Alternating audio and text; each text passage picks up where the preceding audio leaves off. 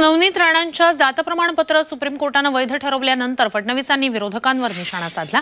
सत्याचा विजय झालाय. मात्र पोपटासारखे बोलणाऱ्यांच्या थोबाडात झापड बसलीय अशी टीका फडणवीसांनी केली. तर राणांना बजरंग बलीचा आशीर्वाद मिळालाय.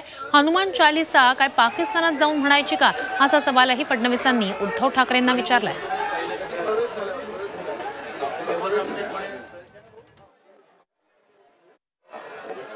और बच आणि सुप्रीम कोर्टाने नवनीत राणांचं सर्टिफिकेट पूर्णपणे वैध ठरवलेलं आहे.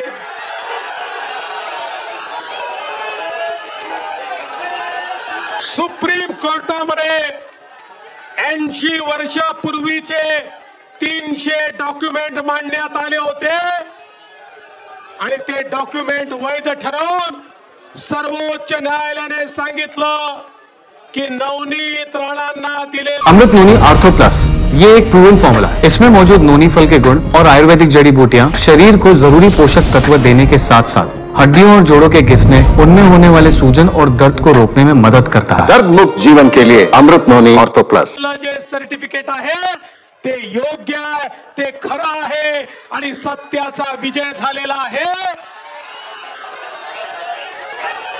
आणि जे लोक पोपटासारखे बोलत होते त्यांच्या थोबाडात झापड बसलेली आहे.